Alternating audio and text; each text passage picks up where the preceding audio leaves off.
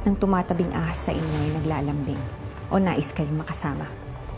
Ang ilan tumatabi sa'yo palagi upang ikaw ay sukatin. Tapos na yung pakikipagkapwa nyo sa mga ahas. Nilingkis na nila tayo. Sinong pwedeng pagkatiwalaan dito sa palasyo? Maghihintay na lang sila ng kung kailan yung tamang oras para lagutin yung hininga natin. Ang Pilipinas ang iyong tagumpay. At sinusumpa ko na malalaman ng lahat ng nabubuhay ngayon at sa mga susunod pang henerasyon na ang tatay ko na pinagmukha nilang halimaw ay isang magiting na sundalong pinalakas ng dininding, saging at pagmamahal sa bayan. Sinusumpa ko, Dad. Simula sa araw na to, hanggang muling paboran tayo ng tadhana. Sa mata ko, sa puso ko, kahit kailan hindi ka nabigo.